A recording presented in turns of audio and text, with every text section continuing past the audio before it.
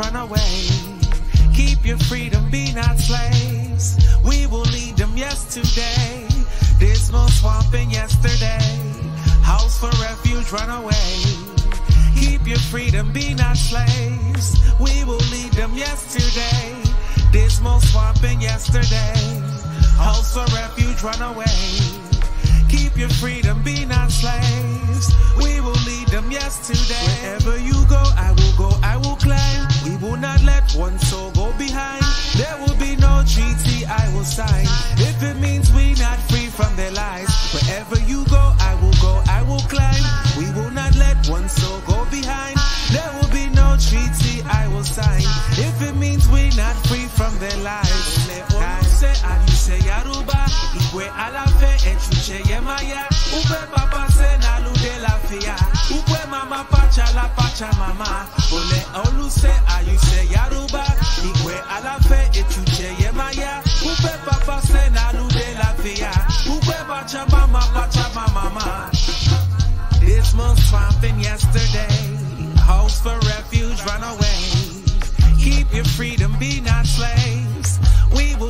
Them yesterday. Month swamping yesterday, house for refuge, run away. Keep your freedom, be not slaves. We will lead them yesterday. Month swamping yesterday, house for refuge, run away. Keep your freedom, be not slaves. We will lead them yesterday.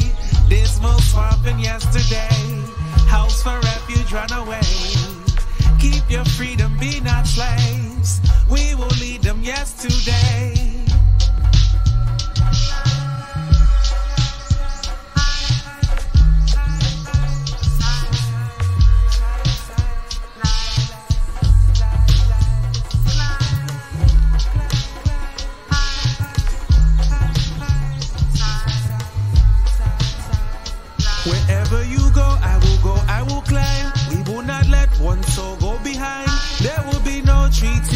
Will sign. If it means we not free from their lives. Wherever you go, I will go, I will climb. We will not let one soul go behind. There will be no treaty I will sign. If it means we not free from their. Guys.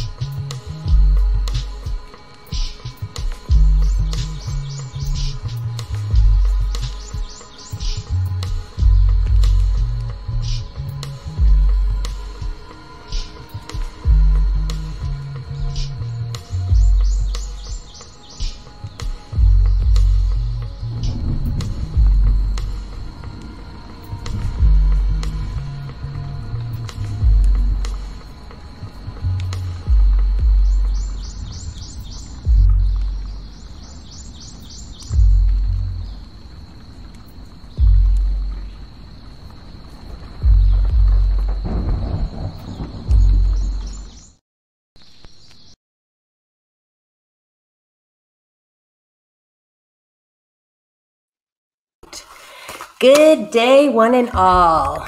I am the co host, Remedy, and I'm here with once again for our Sunday live stream. Uh, we are the Maroon Liberation School Book Club. Today, I have my lovely co host, Carla, and our special guest, Spirit Child. Yes, so we're going to dive right into this. Um, you guys already have heard. If you haven't, check out our our other videos if you want to learn more about us. Otherwise, come back and see me next week. But in the meantime, check out Carla. Hello, everybody. Thank you for joining us once again. Um, so this week or weekend, Sunday, I guess, we're going to be um, reviewing the chapter "Stop Hating Women." Or let's see, get the full title.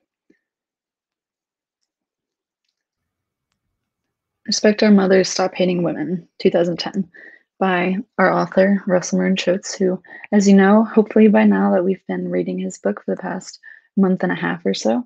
Um, and today we've invited Spirit on to um, have a discussion with him about some tips for men specifically on praxis and how they can identify this internalized patriarchy that can really only be um, you know it's in in the chapter, Russell talks about how this is a question that men need to be talking to each other about.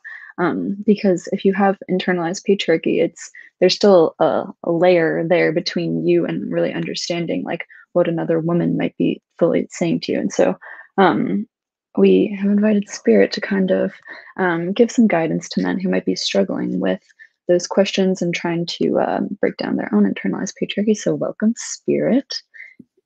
Peace, peace, peace, party people on a Sunday. Thank you, thank you, thank you for doing this. Thank you for being consistent.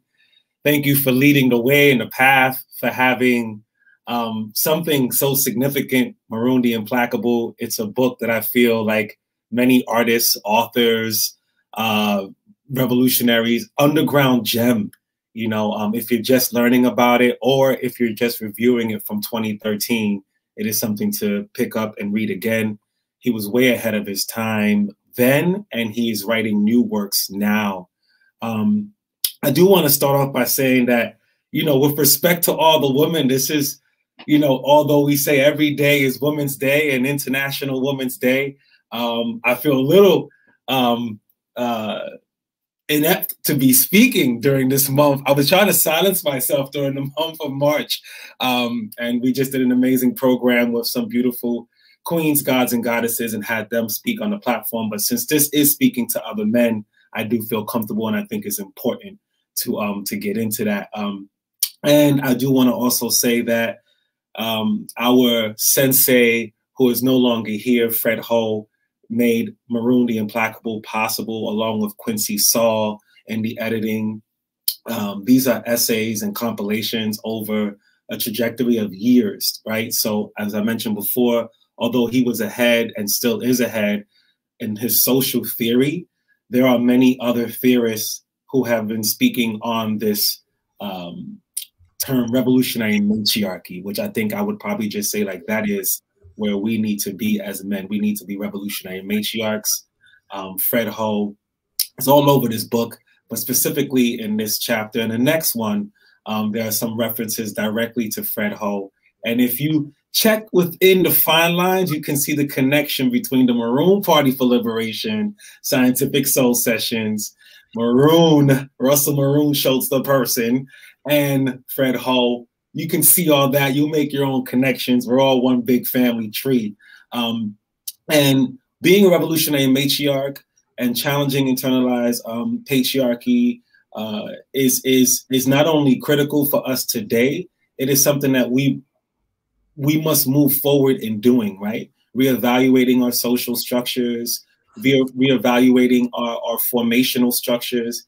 Um, he speaks a lot in this chapter about even um, trying to combat patriarchy, men, even himself, myself, Fred Ho, all of us have been victims of falling short and replicating these things that have been indoctrinated in us for centuries, right? We're talking about five, 6,000, 7,000 years of patriarchy and the rule over um, what we what we identify as as as women. You know what I'm saying? Like it's one of the oldest existing forms of oppression to other beings per se outside of animals and trees and mother nature you know um, but when we think of us as human beings it is one of the most existing oldest form of um, of oppression. So any structure we believe in our formation that doesn't speak about this, that doesn't have not only social theories, but also practices and how to do that is falling short from the liberation of all human beings,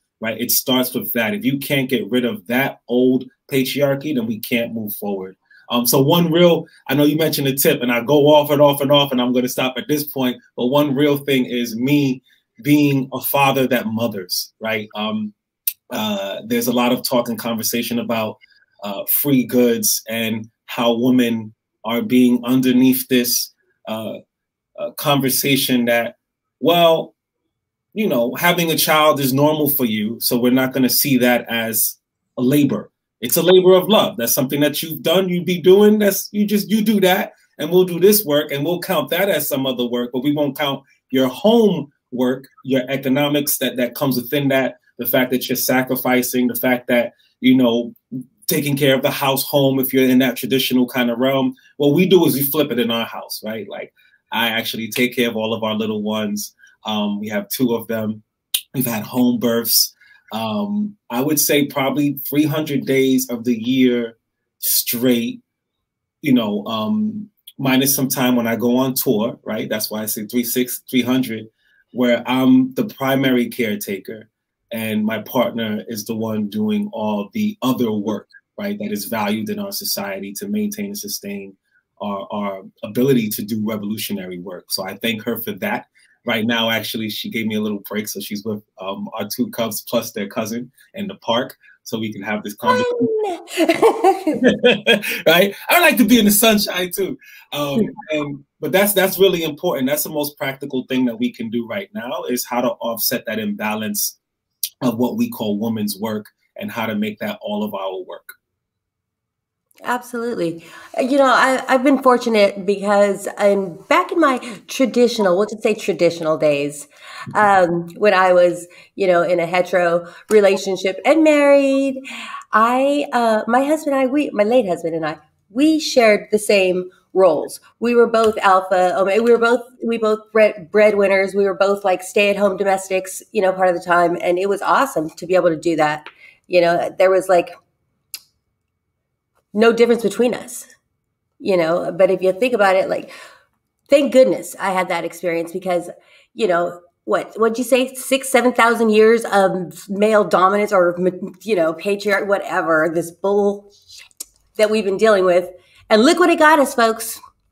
So any word any thought on that carla or should we talk about the author first I don't know. Before we get you already know I'm finding my quotes so that the people can be looped in. So I'm with this five six thousand years ago. I want people to have some context. Find your okay. quotes. I'm yes. going to talk a little bit about our author. Oh wait, oh, sorry. I, I got the quote. I'm ready to go. Okay, go for um, it. Okay, page one ninety five. So uh, patriarchy and the roots of women's oppression. Patriarchy is a system of male dominance over women emerged some five, six thousand years ago among certain tribes living in Central Asia Asian steppes north of the Black Sea, the Kurgan people were able to make warface and conquest of other tribes and their territory the main source of their wealth. Um, and so this means the reason that there was this kind of inversion was uh, no longer uh, a care for or uh, the need for the support and idea of sustainability within a community. It was now switched to like the power in the hands of being able to take over other uh, tribes or violence became the main economy uh, rather than sustainability. Yeah, but there's some context. Absolutely. Thank you. Uh, you know, and it just goes to show you that like there's ebb and flows to everything, you know, but like women have not had the opportunity to step up and to lead the way. So, uh, and when, but our time is here and it is coming. Get ready, boys and girls. It's happening. It's happening but when it does, we have to be ready as well to ebb and flow with it because we need that strength, you know, uh, just as much as they need our strength and our presence to basically dominate them. I, I, will say that I think um, it, it, for sure um, women have been and continue, even though we're talking on the mainstream, right? We're talking about patriarchy, capitalism being like this dominance However, there have been societies, and there still continues to be societies, and even formations. When we think of the Black Panther Party, Um, even though you see a lot of the testosterone, right, in the images of the guns and the leather jackets and all that stuff, it was the women who were actually the backbone and the saviors of that party, right? Like, and they were the ones that held everything together. You know, um, they just never throughout our history. And he, I like a quote also, and um, I love that you got the numbers. Um, and and and uh, Maroon the Implacable, where he's speaking in this same chapter, he's talking about we all know Dr. Martin Luther King, and how we replicate. We don't really know the works of Ella Baker, right? We're not really talking about um, the people who have been fighting side by side, um, the Iroquois, um, the first uh, confederations, the indigenous peoples, Lenape. Um, we're talking about like a lot of African tribes, Yoruba, Akan, uh, out in Brazil, many formations outside of white supremacy. And you know this, if you black and brown indigenous and you out there, and even you white too, you out there watching this, look at your family structure the women are the ones that hold it down. I'm talking about like not only from the household, but even so much to the point of finances, right? Like making the right choices on what to invest in or consume for the family. Um, this is something that women have always been uh, in that position of power. It just doesn't translate outside. You know, like on the outside, all we see is men. All we see is the faces of the men um, speaking, talking heads, but the women are the ones that the men ask for counsel. And actually, what it needs to happen is the men need to just step aside because the woman's time has always been you're always leading. We just need to hear from you directly and not indirectly with the male patriarchal edits when it's convenient for the men to lead countries, nations, communities, formations, organizations, and all that stuff because women have always been and they continue to be. I just wanted to make that point because the time has been now. It is now. It's happening. This formation, the Maroon Party for Liberation, is predominantly um, identify women. You know, um, the ones that are leading the formation within our spheres, as you can see, we have Carla and Remedy, are women. You know, um, women are the ones that bring the aesthetic, they bring the vibe, they bring the flavor, they bring the nurturing, um, they bring all things constructive, creative, and productive for societies. And patriarchy, when you're when we're talking, I'm going back to that first question. When we challenge ourselves, we have to say, what is the dominating factor? Why do we have to have war or violence as something that we see as credible? Why do we have to conquer another nation to feel like we're leading or doing something in our world? Why do we have to conquer Mother Earth to feel like we're in control? And that's that's not coming from women. When we look at the Iroquois, Lenape, as I mentioned, all these indigenous cultures, there's less carbon footprint, respect for Mother Nature, respect for each other. There's restorative justice, transformative justice in the communities. That's natural, right? There's not a punitive measure that continues to pervade. And I mentioned earlier that Maroon also he got put on to revolutionary matriarchy by Fred Ho, right? So we learned directly from Fred Ho, and the stuff that we have been learning all these references and resources that he's, you know, um, uh, Queen Shiva, who's on there, um, Maria Miles, and all the other people that have been referenced in that book. Those are documents that we actually read when we talk about revolutionary matriarchy, assess, process, and dive into. And, and these are archaeological facts, and that's science to, to balance out the fact that we feel we know it's right. Women should be leading. I would like to say that one of the reasons why I am so like ride or die with this is because of how comfortable I feel in my shoes, how comfortable I feel in this position right here. It's and it's because uh, as I get deeper into the the literature and you know the truth, I you I can see firsthand both in, in what I've learned about Fred Ho. We got to have this moment.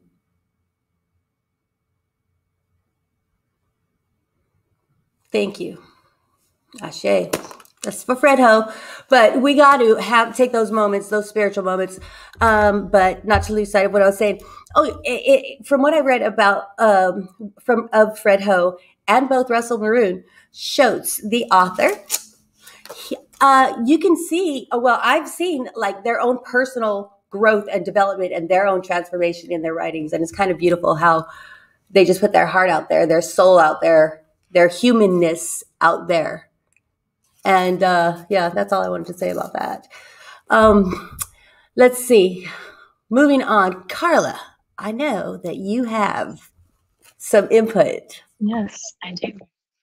Um, so for spirit, we obviously, based on everything that you've said so far, we can see you've done a lot of work to break down those walls, patriarchy, and like really get real with yourself. And um, it's n- no longer. I mean, I, I don't know what what your process was, and so I guess I'm asking, what steps like backtrack and when you were kind of the beginning of this process of learning and unlearning where did you begin and what are the steps that you have taken? And what after that what advice can you offer other men who are trying to begin this journey? Nice questions. Okay okay i see what's going on here i like it nice real good um so um for me personally i was raised by my mother right um and I was also parented by a village of cousins, our primas, tias. So my aunts, my cousins, all predominantly women who took care of me. Um, they would look after me. Um, and just to give a little bit of background, um, I'm Puerto Rican and Jamaican, right, with also roots in the South um, as well with my father. And there's a that's a very hyper machismo masculine culture just to be real. Um, the way i was raised it was like if i needed something my mother would say get one of your cousins to do it. And my cousins would have to take care of me. Although i was younger than them and capable of doing it it'd be like why are you cooking your own food you know um, why are you washing your own clothes etc etc however when i was my mother um, alone because she raised me alone. When it was just me and her, she would teach me, you know, how to listen, how to fold, how to cook, um, how to how to clean the home. So everything I learned in this particular theoretical way, I actually had some pretty good um, knowledge from my mom's, right? Politically, when I got involved, and I've always been kind of a little quiet. Um, when I got involved politically and organizing, I'd say more in high school after reading the autobiography of Malcolm X, which put me on. Um, all of my leaders or the people that I was consuming for knowledge were pretty patriarchal, right? On the outside, externally, politically, a lot of the information was war, combating war, how to counter war, um, how to resist against a genocide. A lot of the, the that information was very male dominated, um, male patriarchal dominated. Because again, you can be a male and be a revolutionary matriarch. Just to be clear, um, it wasn't until uh, I, I, went to college and then I started studying um, the psychology of women, and and I wanted to get into the field of psychology, and I had a uh, a, a desire to learn more about um, what what's what's why is there such social construct differences between men and women and what does that really mean? So i actually got it more on the academic um, less than the political side and then i started realizing that as i was as i learned politically through my surroundings in high school and learning a bit more with malcolm x and the theories and all that started realizing that this science is connected to the politic, right? So there's something there. Um, our formations, and I've always had this, I think it's more my family structure that allowed me to be on the side, like allow women step aside. If they have something to say, try to listen more and speak less. Now it was also difficult because I'm not perfect at all, right? Um, my patriarchal tendencies get challenged all the time, even until like just last month, you know, where um, there's certain aggressions that I have um, when I debate, when I get fiery, and I tend to have this um, masculine or machismo come out where my voice is louder and I'm just more aggressive and I'm more like, well, we're boxing. And I'm thinking that that's okay, right? and that's not okay. Um, and I'm just trying to figure out how to balance being so adamant politically and where I feel things need to be, but also being more nurturing and understanding where everybody else is and how to be patient with that and grow the differences. That's a hard thing, right? Um, so I've had a lot of falling out. I still have falling out with people. Some people attribute it to me being just a passionate, fiery person, and some people use it politically to say, "Yo, you're patriarchal. That's whack. You need to work on that." And actually, it's even double whack because your formation says that you're a revolutionary matriarch and that's what you're working on, and you fall in mad short. Um, so thank goodness and goddess that I have a lot of women in our circle that check me. And I will also say spiritually, right? Because um, I'm a Yoruba priest, and within Yoruba or Santeria is also predominantly women, right? As in, as in um, Afro-Cuban or um, indigenous African uh, spirituality or spiritual practice. And in our household, when we pray, when we do our ceremony, it's all women that lead it. So I think for me, at least I probably would be more hyper masculine than I already am. However, the um the seeing and working in in, in, in community and ceremony with people has allowed me to reflect on that, right? Like I learned from my mother, I learned from uh, the women that she's around, I learned from the the other women that are around our circle, even if they're younger. And when they're younger, I learn from them and I listen as much as possible.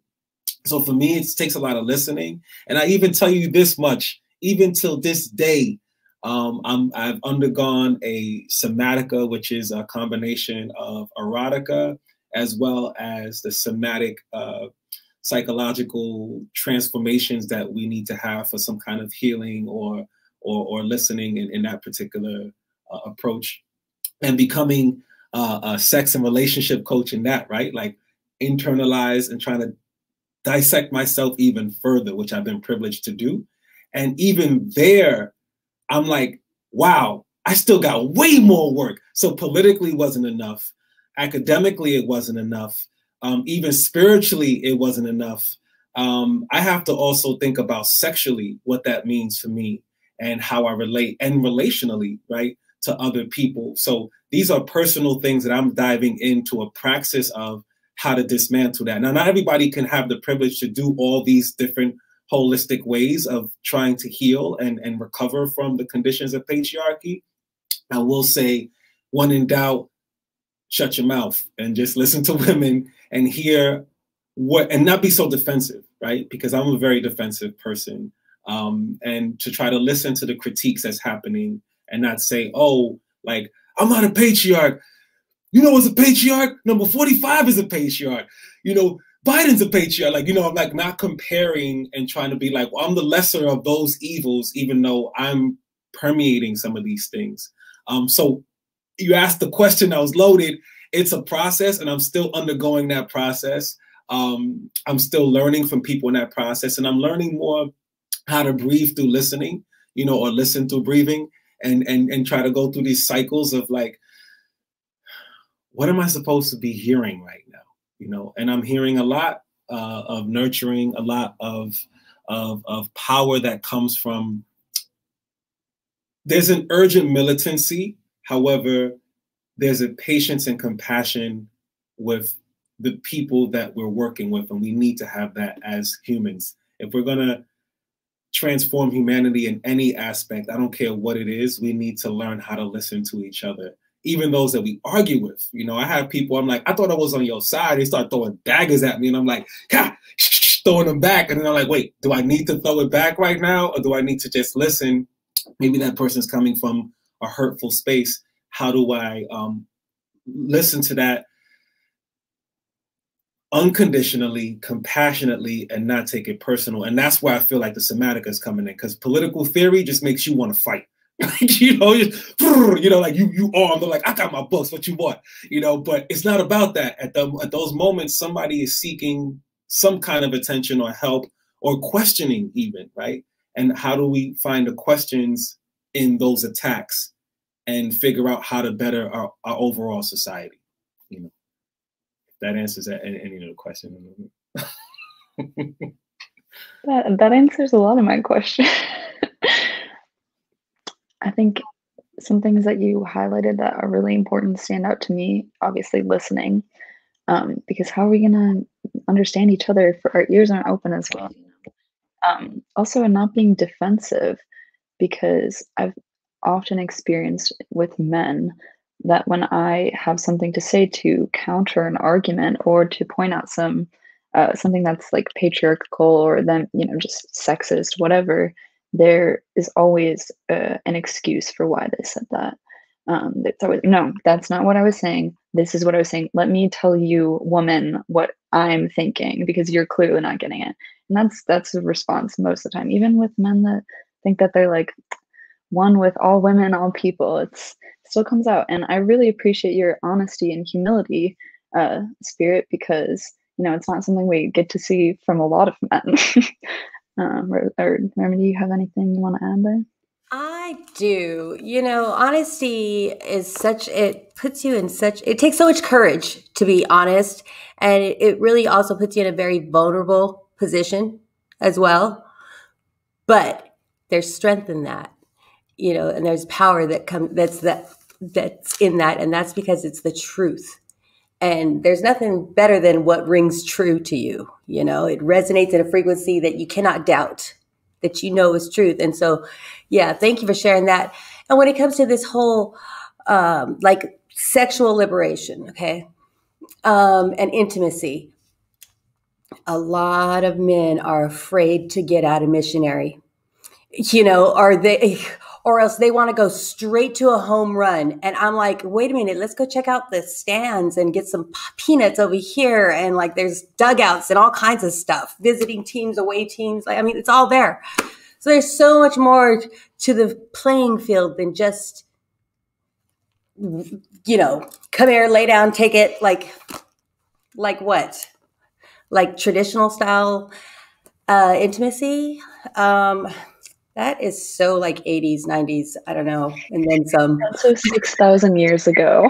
They've been doing it the same forever, you know? And um, I, me, I mean, I've been practicing non traditional sexual behavior for ever since I got widowed. You know, I did two years of celibacy and then straight into a, you know, same sex relationship with a dominant woman. She was never my dominant, but she was my very angry girlfriend because I was just new to it and um, we we would share intimacy with each other, but we would also share it with our other partner, sometimes plural. Um, but again, non-traditional. It's not like we were just you know doing it, the act. We were doing.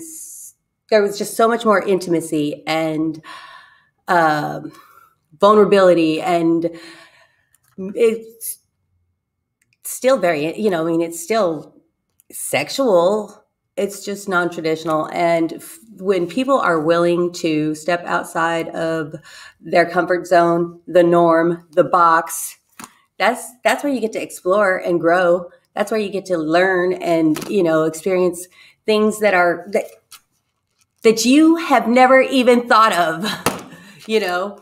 Um yeah. And it's it's it's when you fall down in outside of the outside of that box that you really get to grow. So the battles and and the resistance or the fears that we all struggle in, we all struggle in it, just like we all fuck. Same thing, you know? I mean, but do you grow from it? Spirit child, it sounds like you definitely have been growing from it. I'm trying. I want. I want to figure out how to like. I, I want to go back to what college just said. I think. I think we're onto something. I think. Um, uh, uh, as a double entendre, but but something that can lead or lend to to what we need to do, right? Like when we talk about making the revolution sexy and like how to entice more people, I think I love that as like a T-shirt, like stop the missionary position that's so six thousand years ago. You know? And then like, what does that do to somebody when they're thinking about that, right? Like, no offense to people who who, who love missionary and want to do I that. missionary. I, don't, I mean, I don't hate it. And there's so many other ways to love and to climax and to to achieve whatever liberation, whatever goal you want. And and I think it's really important to to talk about our sexuality or relationships, which we don't talk about a lot, right? And this is when we talk, you asked earlier about working with, um, or how do I work? And then also maybe working with other people. When we're at Rikers, right? When we're working with young men who that is nothing but it breeds patriarchy. I mean, it just breeds toxicity and everything else that comes with it. So you you can't go up in there and tell a young man, yo, you need to respect women. Like it's not gonna work. You know, like I mean, even Maroon talks about like you can't replace um patriarchal capitalism with patriarchal socialism. Right. And one of the things that Marx and all these isms they fall short is reimagining or thinking maybe they never had it right. Maybe the formulas and the way that these men have been thinking of how to analyze and scientifically deconstruct, maybe they're reconstructing or, or, or building off of the foundation of toxicity already. Yep. Like that equation is whack. So maybe yep. that's not something we need to even be talking about. I mean, it's good to learn. We should all learn that and then move from that, right? So when we when we're with our young men and women, especially men out in Rikers or in prison or, or in Belgium, wherever we are, the men are always just it's natural, it's just aggressive, and they're just like F this, be that, F this, F, you know, and everything. And then we go, all right, cool, like let it out, let it out, because that's therapeutic, let it out. And then let's talk about that. Why do you feel you need to talk about that? Like when Maroon's talking about this conversation, like, what do you mean? Like, I love women. I respect my woman, but what about all the other women? Maybe they're the BITCHs, and you're like, wait, that's not really okay. You just completely missed it. Now, if you respect and honor your mother, if you truly do, you would also respect and honor Mother Earth. Vice versa. You would also respect and honor any woman that comes to your path. You don't differentiate. And if you do, that means there's a part of your mother that you're disrespecting. So let's have that conversation. How do you feel that your mother hurt you? What, what do you feel do you need? What do you need to tell your mother right now that you didn't get to say in a, in a more constructive way, right? Like, what are you looking for to get out of this conversation of of, of dominance or um, or degradation? You know, like what is it that you gain from oppressing your fellow sister? Why do you do that? And then analyze that. And and speaking of when you talk about the, the sexual liberation, this is what I'm learning in other spaces, you know, in, in somatic and going through this process is like you can play out whatever you want to play out, as long as you're safe and healthy and you're not harming people. But you should play that. You should figure out how to train yourself or be with other people to to, to play that out. Because there's a lot of people that are not trying to play that game with you, and they don't know that you're playing. Right? People, it's a, it's a life and death situation. You can't promote that aggression and say that this is okay, because then people start thinking rape is okay. They start thinking um, not only silencing women is okay, but everything else that comes with that is okay. And we need to speak about that because not only is that counter revolutionary and counterproductive, um, it is not liberating our humanity and it's not liberating the individual who's caught and trapped in that toxicity. You got to get out that bubble. Um, and we're all working it out, but we need to find these spaces, right? Like when you work with somebody and say, if you feel like you need to dominate someone, if that's what's in you, there's a space for that as long as there's consent in that particular thing. And I think a lot of presidents and people in power need to learn. Ass whooping. responsibly. you know? Absolutely. Uh, there is a safe way of doing it, you know, and we're not going to get too far into that right now. But uh, but for myself personally, I know that I went through a transformation um because I was on a road to really becoming a man hater when I was 15, 16 years old. Thank you, daddy. Yeah, really. But I met a beautiful man, you know, that showed me that not all men are going to hurt me or or you know, whatever. Thanks, dad. Um so shout out to him. That's all right.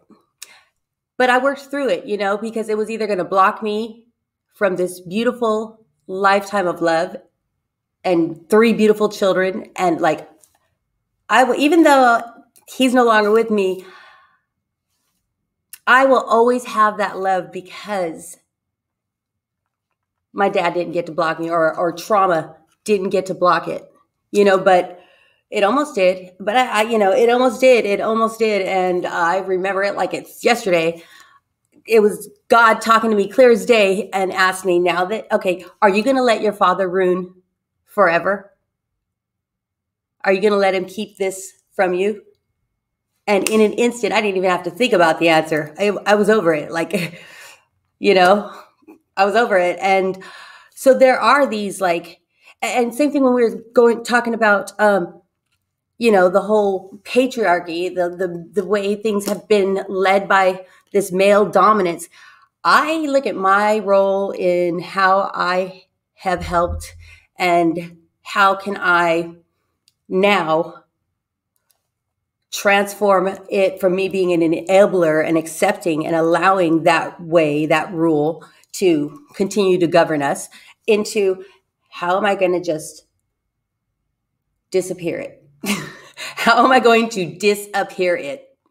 The same way, you know, they disappeared our heritage and our culture and our roots and our spirituality and our our land and everything else, you know, like not the same way, but we're not going to rewrite history books. We're going to spread the truth.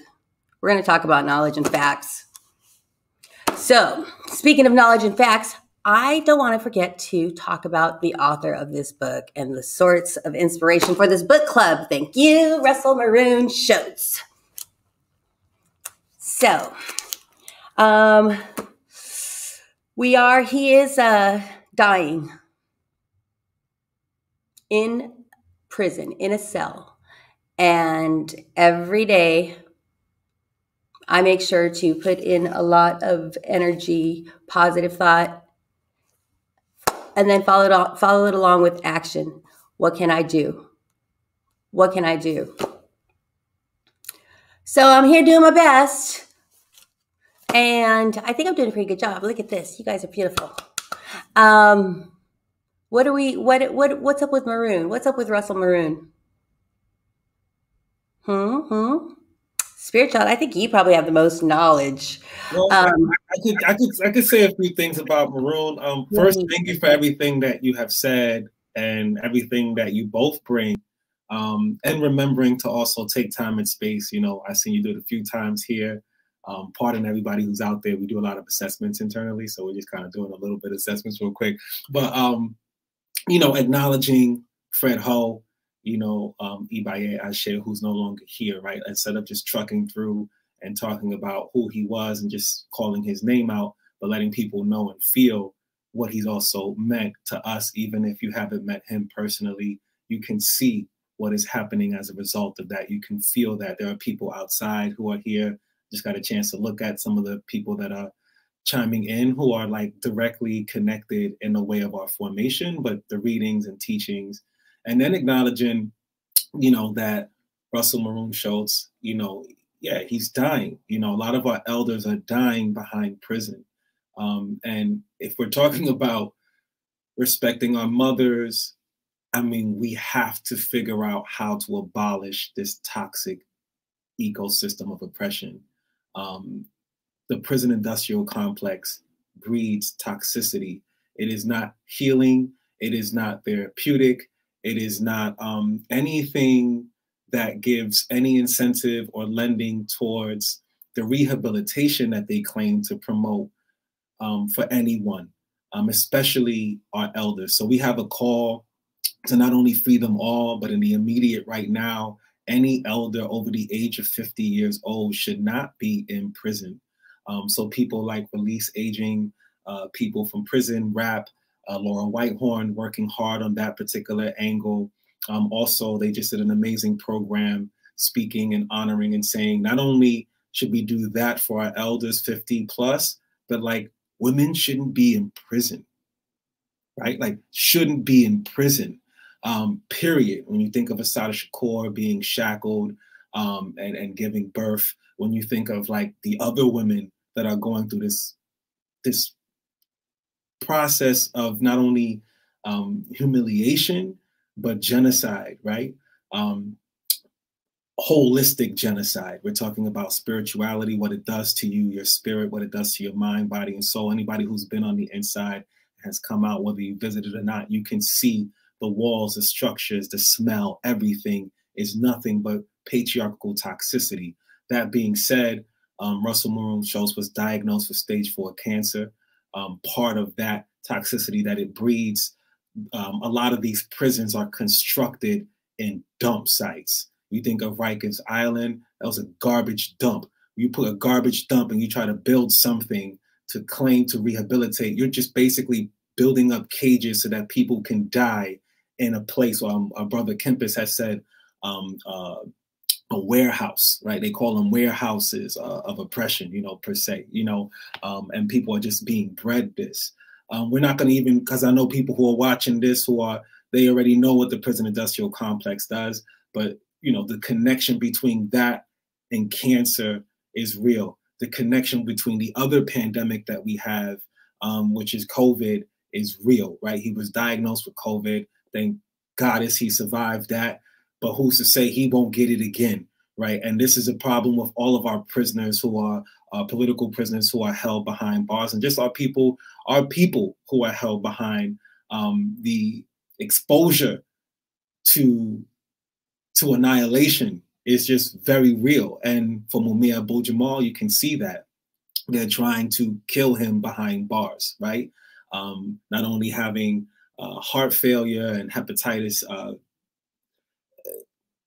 now COVID, right? And there's an emergency call to free him because as as, as one uh, Dr. Alvarez has been stating, which is amazing and brilliant, this should be for all of our people across the board. But the um, the only treatment is freedom.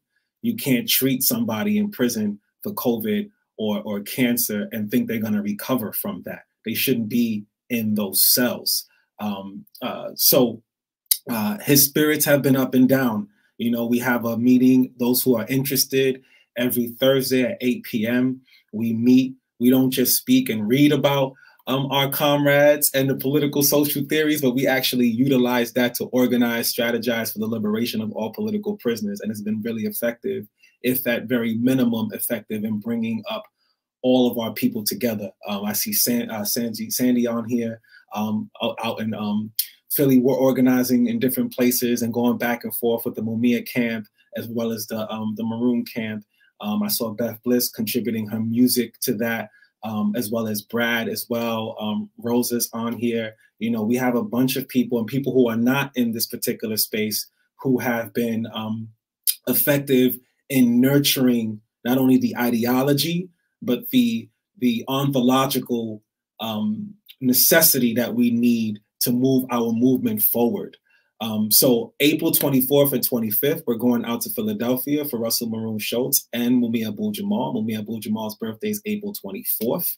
So we're going to go out there and share our solidarity and support. And on the 25th, we're going to be working in Russell Maroon Shoatz um, mother's garden. So we're going to be doing a lot of gardening and helping in that. And actually, um, Maroon talks about this a lot as far as gardens. There's another garden project that we're doing here for Eric Garner, who was a horticulturalist.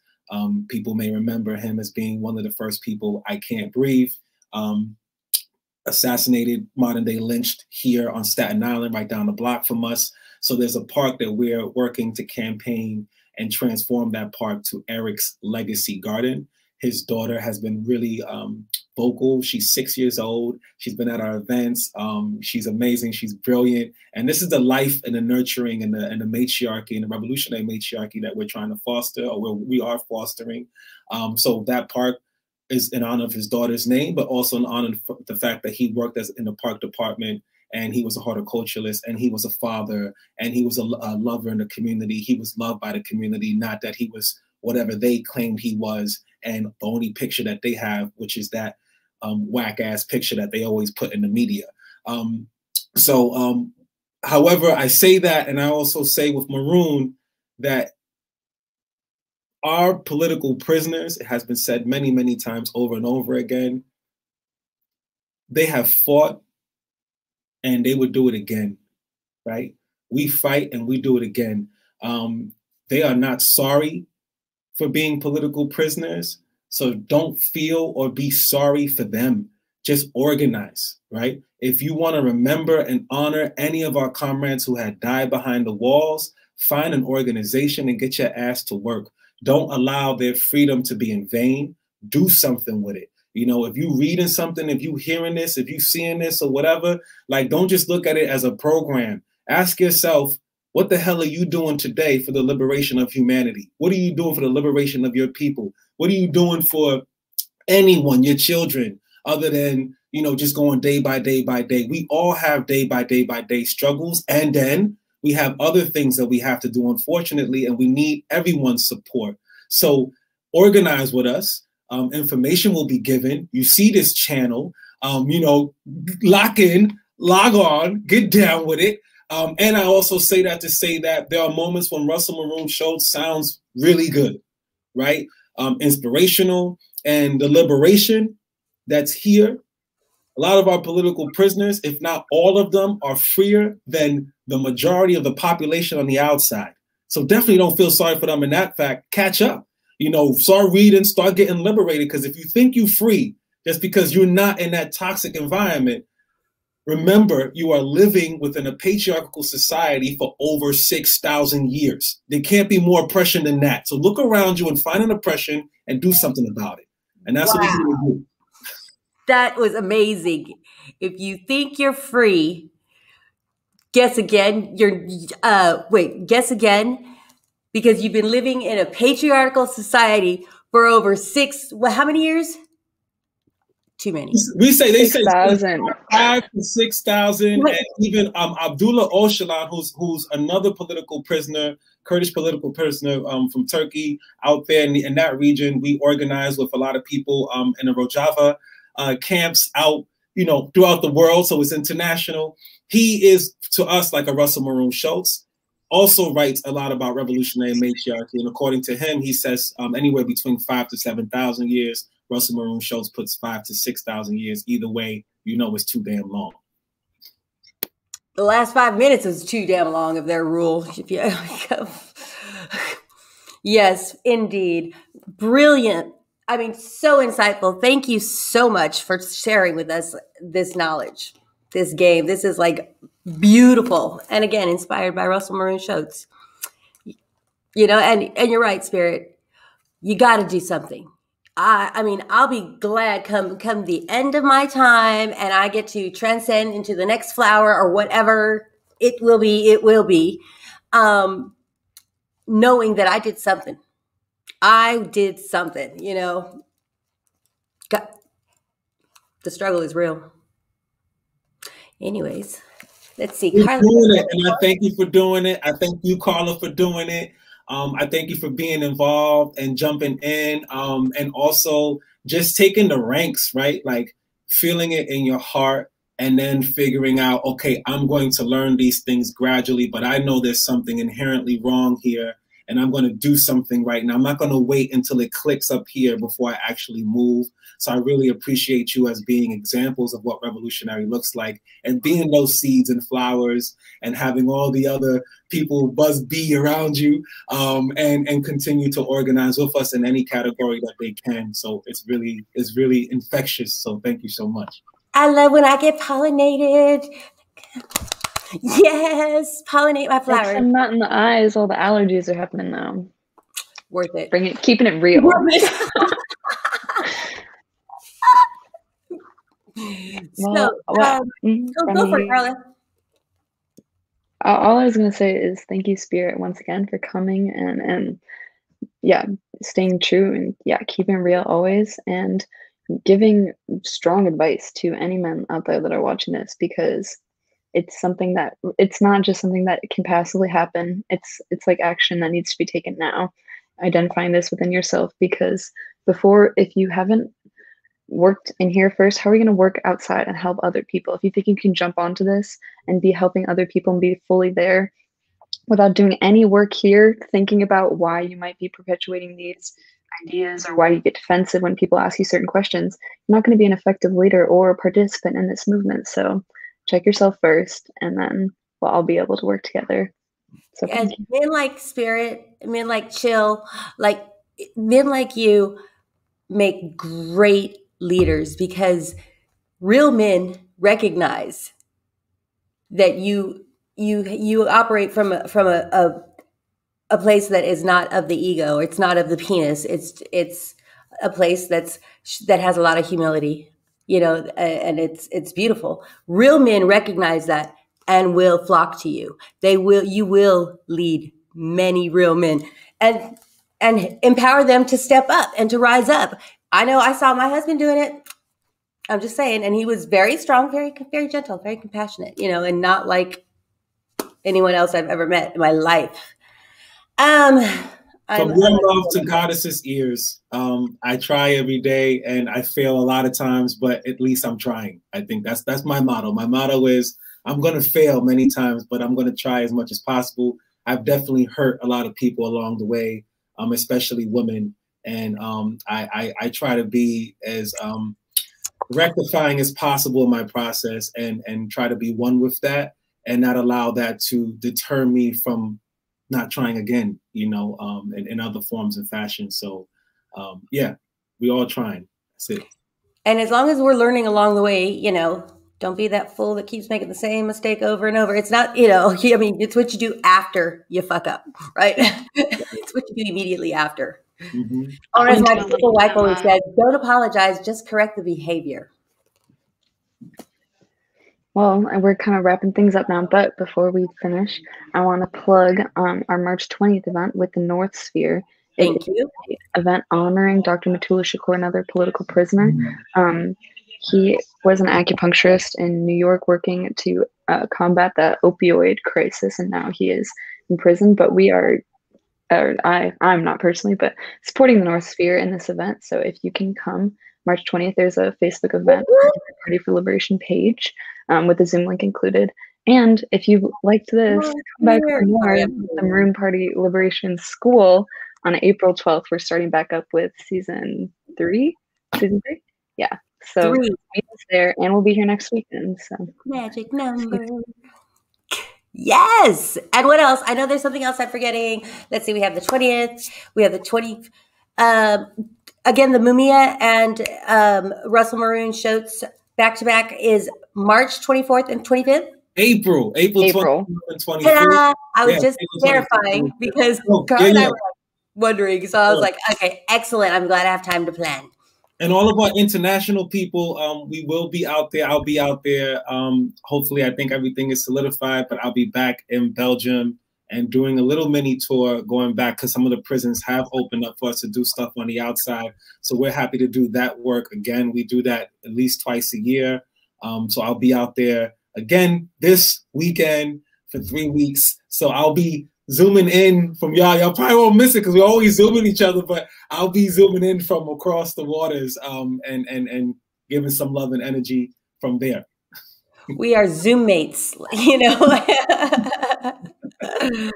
Carla, thank you again for helping pull off such a lovely, lovely book club. What? Thank you to all of our viewers who joined us today. We invite you back next week, and if not, who cares? Pick up a book and read it. Read a read a book that's uh, that tells the truth, though. And um, how about a uh, you know? Let's see. What are we gonna do? I know. Free maroon. Who? Free maroon. Yeah. Who? Free Maroon. Free Maroon. Free who? Free, free Maroon. Maroon. And free them all. Free them free all. all. Yes. We have lots of work to do. Peace. Peace, Peace. everybody. Thank you. Oh, wait. Let's see if there's any questions from the. Wait, don't go. Don't go. Okay. Are there any questions from our, our, our chat? Let's see. The energy and the love. We got a lot of nice comments. Hold on. We got a lot of nice comments here. Oh, my goodness. I'm never going to close this page now. I'm just kidding. I'm just kidding. Remedy, I've got to go to work. Okay, fine, Carlo. Did you have you been able to read the chats? We got like uh, your love and energy uh, for the people. Keep me going. Thank all three of you today so much with love. Yes, that's right. Serving the people, right? Hmm. Hmm. We got to be careful. No, we got to be carefree. Fuck that. Thank you all. I mean, forget that. Potty mouth. It's all good. It's all good. We got this. I need a swear jar so I can scream in it. See you guys. Peace. Peace. Peace. Lots of it.